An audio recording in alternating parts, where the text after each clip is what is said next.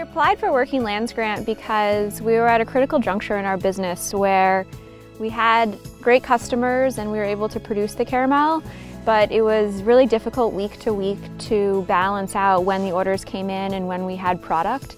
And we really needed a series of climate controlled spaces that would help us maintain a balance in both the workflow for our employees and the high quality of our products. Working Lands Grant gave us $20,000, which allowed us to leverage an additional 220 on our creamery expansion. And we're really excited about where we are.